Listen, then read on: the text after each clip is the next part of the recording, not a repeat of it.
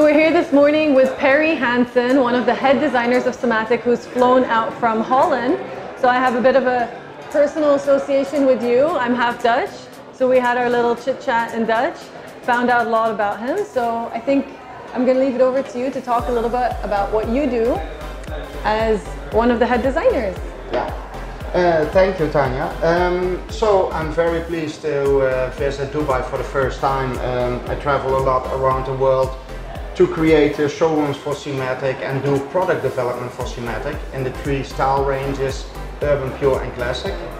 Uh, in 2015 we came out with the new Style World uh, Urban that is a more open kitchen, uh, a real social meeting point in your uh, living room. And we see it behind us. Absolutely. So this is one of the urban kitchens that they have here at SieMatic Dubai on display.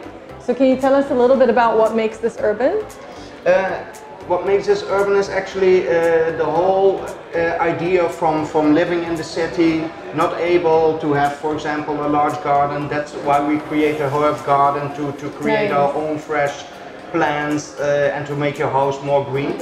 Very important by uh, planning urban kitchen is the, the free planning. It's more eclectic, it's uh, freestanding solitary elements instead of a completely built-in kitchen.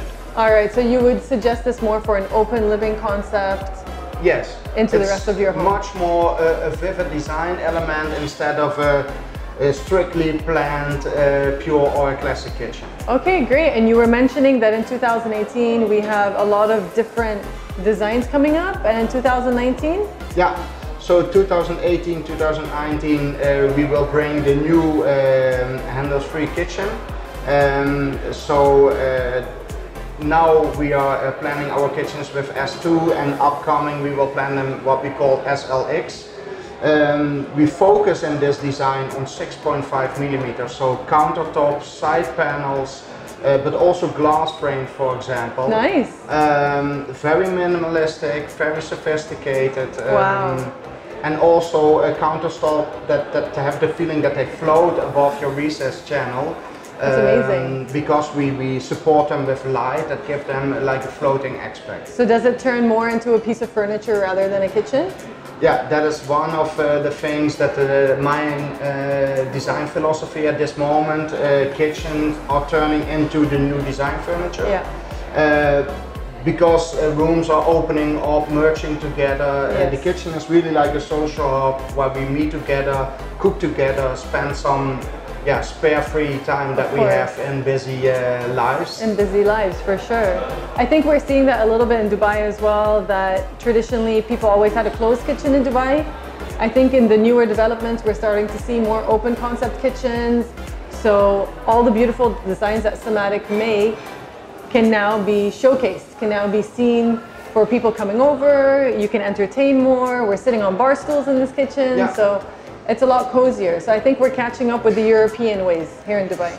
Yeah, it is uh, absolutely a trend that we can see and uh, uh, worldwide and very important, I think, and especially with SieMatic, it's like a design, it's a status symbol. For sure. Uh, functional kitchens, but uh, with a beautiful, sophisticated design that you Nice. can use uh, in daily life. Nice. So you mentioned that you've been with SieMatic for 10 years. Yes? Been, and um, but there must have been a day where you started out as an interior architect. So do you have advice for graduating students or people getting into the design field? Uh, yeah, the way I followed my design path is actually uh, I started in a, uh, by interior architect. I worked there for over seven years. Uh, he worked with SieMatic as an independent architect Wow. for over 25 years.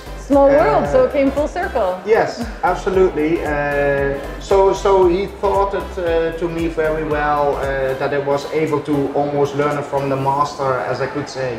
And in uh, 2015, I started my own firm together with my wife. Very nice. So it's a Um, family business. Yes, family business, and we work with six people all around the globe uh, on That's different great. projects. Uh, the most important thing for young designers: get experience, uh, learn from your mistakes Yes. because you will make them, Oh, uh, exactly. but stay true to yourself. That Do is, those uh, internships. Do yes, those internships absolutely. in university and school. Absolutely. And do you have advice for clients looking to purchase a kitchen? Is there like a key element that you say could be the smallest thing or the biggest thing? What would you advise when people are buying a kitchen? Like, don't forget Yeah, for me, I uh, so yes, it's design driven. That is very important. But I always, uh, for me, um, ergonomy is very important. That you have uh, your uh, correct working triangle between uh, preparation, cooking. Uh, that is very important.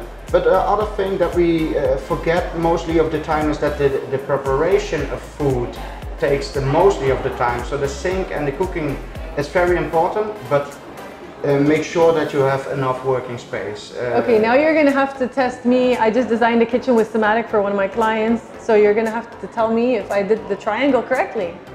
Uh, absolutely. Yeah, so yeah. I'm going to have to show you. Okay. All right, well, thank you for coming. Uh, you did a great presentation this morning at SieMatic. I think people learned a lot about what you do and the direction SieMatic is going in. And uh, we're going to wait and see what you have coming up in 2018, 2019, and, and onwards. Thank you. Yeah, thank, thank you. you so much for coming. Okay, you're welcome.